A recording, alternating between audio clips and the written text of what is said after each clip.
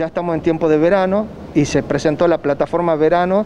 donde van a poder entrar los ciudadanos y ciudadanas de toda Argentina para chequear cuáles son los requisitos de cada jurisdicción. Y a la plataforma Cuidar, que ya tiene 8 millones de argentinos y argentinas que están interactuando en esa plataforma, se le va a dar la versión de verano donde se va a poder cargar la declaración jurada hacia dónde vamos en las vacaciones, qué tiempo vamos a estar, cuáles son nuestros datos de ruta de camino y va a haber un código QR y ese código QR va a ser el que van a estar verificando las fuerzas federales a lo largo y a lo ancho de todas las jurisdicciones de Argentina. Si un tucumano quiere llegar o una tucumana quiere llegar a Mar del Plata, ese código QR va a permitir verificar que tiene la declaración jurada para poder asistir en ese tiempo de vacaciones. En eso fue claro el Ministerio de Seguridad de la Nación que la, tanto Gendarmería, Policía Federal, la Policía de Seguridad Aeroportuaria y también Prefectura van a controlar ese, ese código QR.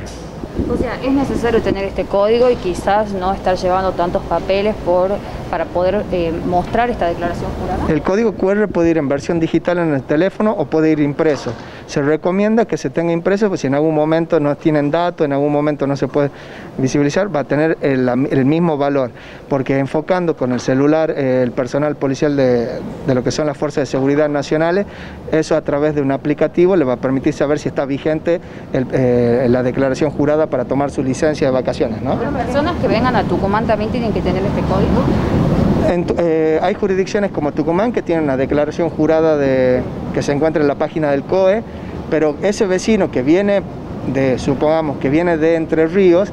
también si tiene el, el, permiso, la declaración jurada en la plataforma Cuidar, en todas las jurisdicciones que vaya pasando antes de llegar a Tucumán también le va a ser útil porque va a ser más ágil su ingreso a cada una de las jurisdicciones.